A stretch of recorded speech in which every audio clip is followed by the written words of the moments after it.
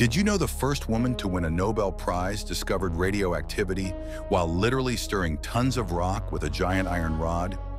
In 1898, Marie Curie was processing pitchblende ore by hand in a freezing, leaking shed in Paris. She stirred massive vats with an iron rod taller than herself, working 12-hour days in temperatures below freezing. She and Pierre had no protective equipment, not knowing the radiation was slowly killing them. The scientific establishment ridiculed her, calling physics men's work, and tried to exclude her from Nobel recognition. Her test tubes glowed eerily green in the dark from radioactive contamination, but she was obsessed with understanding these mysterious invisible forces. Through illness, poverty, and constant gender discrimination, she refused to quit. That dangerous shed work revolutionized our understanding of physics forever.